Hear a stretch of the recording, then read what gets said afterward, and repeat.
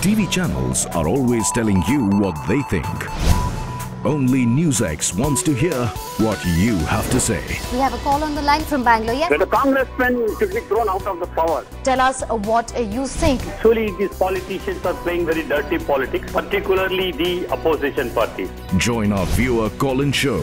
We're waiting for your call and we want to know what you think. Speak Out India. Weekdays at 8:30 p.m. only on NewsX.